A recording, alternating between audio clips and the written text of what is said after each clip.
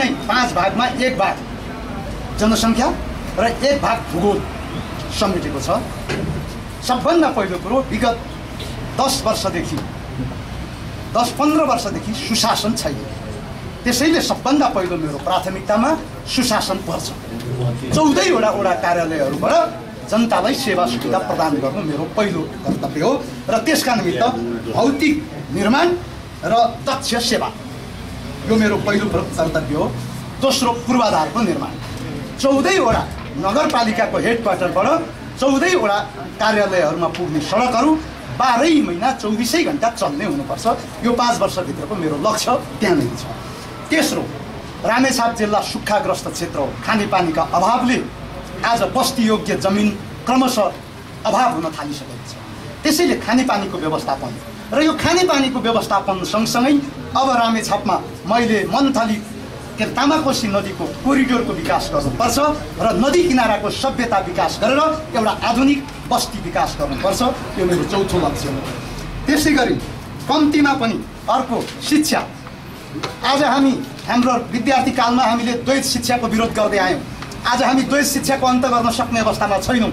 सामुदायिक विद्यालयलाई boarding school अङ्ग्रेजी स्कुल सरह प्रतिस्पर्धामा लैजानका निमित्त कम्तीमा पनि आगामी आर्थिक वर्षदेखि दुईवटा सामुदायिक विद्यालयलाई अङ्ग्रेजी माध्यमबाट पढ्ने विकास पढ्ने पढाउने वातावरणको विकास गर्छु र सम्भव भएसम्म एक तिहाई मेरा क्षेत्रभित्र पर्ने एक तिहाई स्कुलहरूलाई आगामी पाँच वर्षभित्र प्रतिस्पर्धात्मक क्षमतामा लैजान लगेर शिक्षाको गुणस्तर सुधार्ने लक्ष्य दिएको छु। त्यसै गरी अर्को स्वास्थ्य आज हाम्रा गाउँघरमा आमा दिदी बहिनी भाउजू बुहारीहरूको सङ्ख्या साठी पर्सेन्टभन्दा बढ्ता छ युवाहरूको सङ्ख्या र पुरुषहरूको सङ्ख्या गाउँघरमा नगण्य भइसकेको छ। उहाँहरूका स्पेसल समस्याहरू खास गरिकन प्रजनन स्वास्थ्य स्त्री रोग स्त्री रोग र यो सुरक्षित मातृत्व सम्बन्धी र बच्चा सम्बन्धी चौबिसै घन्टा सेवा प्रदान गर्ने ओडाका स्तरीय केन्द्रहरूमा चौबिसै घन्टा सेवा प्रदान गराउनका निमित्त मैले स्वास्थ्यको क्षेत्रमा त्यो कुराहरू अख्तियार गर्नेछु। कृषिमा आधुनिकीकरण। धेरै साथीहरूले भन्नु कृषिमा आधुनिकीकरण। मुलुकमा भू उपयोगको नीतिलाई व्यवस्थित नगर्ने हो भने अब चार वर्षपछि चार पुस्तापछि हाम्रो नेपालीहरूले खाने जमिन पाउने छैन। त्यसैले मेरो आउने नगरसभाबाटै नगरपालिकाभित्र रहेका कृषियोग्य जमिनमाथि घर घडेरी बनाउने कुराको प्रतिबन्ध लगाएर त्यसलाई संरक्षित गरिने गर्ने कार्यक्रमहरू चाहिँ ल्याउनेछु त्यसै गरी पशुपालन र र फलफुल खेतीलाई व्यवसायीकरणतिर लैजाने योजनाहरू छ र कुटीर उद्योग हाम्रो रामेछापमा अहिले यो भौतिक निर्माण गरिरहँदा हामीलाई गिटी प्राप्त नभएर कहिले बर्दिवास गर्नुपर्ने कहिले चाहिँ रोसी खोलाको किनारमा कुद्नुपर्ने कहिले दोलखामा कुद्नुपर्ने। कम्तीमा हाम्रो जिल्लामा एउटा क्रसर उद्योग दुई चारवटा क्रसर उद्योग मात्रै खोल्न सके पनि हाम्रो उपभोग गरेर अरू जिल्लाहरूमा त्यो सामान पठाउन सक्थ्यौँ। त्यसैले हाम्रो नगरपालिकाभित्र कम्तीमा पनि दुईदेखि तिन क्रसर उद्योगहरू खोलेर गिटी बालुवाहरूको चाहिँ आपूर्तिका लागि व्यवस्था मिलाइन्छ र उद्योगहरू कुटीर उद्योगहरू स्थापनाका लागि सुखजोर खोलालाई औद्योगिक कोरिडोरको रूपमा विकास गर्ने लक्ष्य लिएको छु। त्यसै गरी मन्थलीमा तल तामाकोसीको किनारमा सयौँ रोपनी जमिन अलपत्र परेर बसिरहेको छ। मन्थली गर्मी ठाउँ छ सुविधा सम्पन्न आधुनिक स्विमिङ पुल सहितका एउटा विशेष पार्क निर्माण गर्ने चाहिँ लक्ष्य सुरुवात गरिसकेको छ र त्यसलाई चाहिँ यथार्थमा यसलाई रूपान्तरण गरेर एक सय पचास रोपनी जमिनलाई के केन्द्रीकृत गरेर हामी सुविधा सम्पन्न आधुनिक पार्क निर्माण गर्ने लक्ष्य दिएको छौँ। स- धर्म संस्कृतिका क्षेत्रमा थानापति बैरा महादेव थान चिसापानीका भीमेश्वर जस्ता मेरो नगरभित्र रहेका ती मठ मन्दिरहरूको विकास गरेर पर्यटन क्षेत्र र धार्मिक क्षेत्रको विकास गर्नका लागि अर्को कार्यक्रमहरू गर्नेछु।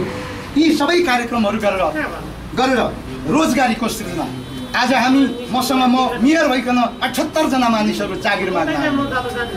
हामीले आफ्नो जीवनमा मेकाले शिक्षा नीति भनेका थियौँ। दस पास गर्यो बाह्र पास गर्यो पन्ध्र पास गर्यो भने सरकारी जागिरमा हुन्छ। आज भूकम्पले भत्किएका घरहरू निर्माण गर्न हजार रुपियाँ दिँदाखेरि डकर्मी पाइरहेको छैन। हजार रुपियाँ दिँदा सिकर्मी पाइरहेको छैन। दस टु पाँच काम गर्छ एक घन्टा उसले आराम गर्छ। बिहानदेखि बेलुकासम्म काम गर्ने भने हाम्रै जिल्लामा दुई हजारसम्म आम्दानी गर्ने रोजगारीका क्षेत्रहरू छन्। आज मास्टर डिग्री पढेँ मैले यति पढेँ उति पढेँ भनेर हामी कामलाई रोजगारीसँग केन्द्रित गर्दैनौँ। म मेरो नगरपालिकाभित्र कसैले काम पाइनँ भने काम जे पनि गर्नुपर्छ रोजगारी दिन म तयार छु। भूकम्पको निर्माण भूकम्पले पारेका असरहरू सारा डकर्मी सिकर्मी तालिम दिन्छौँ सिप दिन्छौँ क्षमता अभिवृद्धि गराउँछौँ काम गर्न तयार हुनु पर्यो। मलेसियाका खाडीमा मलेसिया र खाडीमा तिस हजार जागिर खानका निम्ति र बाकसमा बन्द भएर आउन तयार हुने अर्काको देशमा गएर टोइलेट सोर्नेहरूले मेरो मुलुक बनाउनु पर्छ भन्ने भावना विकास गर्न सकेनौँ भने यो मुलुक बन्दैन। त्यसैले म हर नागरिकहरूलाई त्यो प्रेरणा प्रेरणा दिने र त्यतातिर लगाउने किसिमको कार्यक्रमहरू पनि ल्याउँछु। यी सबै काम गर्नका निम्ति सबैभन्दा पहिला म मन्थलीको आवधिक योजना निर्माण गर्नेछु। त्यो कार्यक्रममा चार वर्षका लागि निर्माण गर्नेछु। बाँकी एक वर्ष समीक्षा गरेर हामीले तयार गरेका कार्यक्रमहरू कति लागू भए कति भएनन् र ती लागू नभएका कुराहरूलाई कसरी पुरा गर्न सकिन्छ भन्ने एक वर्ष मूल्याङ्कन अवधिसहित पाँच वर्षको कार्यक्रम तयार गर्छु। त्यसमा यो क्षेत्रका सबै बौद्धिक वर्ग विद्वत वर्ग र ल्याउनु पर्ने सबै साथीहरूलाई ल्याएर आगामी पाँच वर्षमा कस्तो मन्थली नगरपालिका हुन्छ त्यसको भिजन म यहाँहरूसँग प्रस्तुत गर्न चाहन्छु। यी सबै कुराहरू गरिसक्दा समृद्ध मन्थली सक्षम मन्थली सभ्य मन्थली निर्माण हुन्छ। मैले देखेको परिकल्पना यही हो। हवस् त धन्यवाद।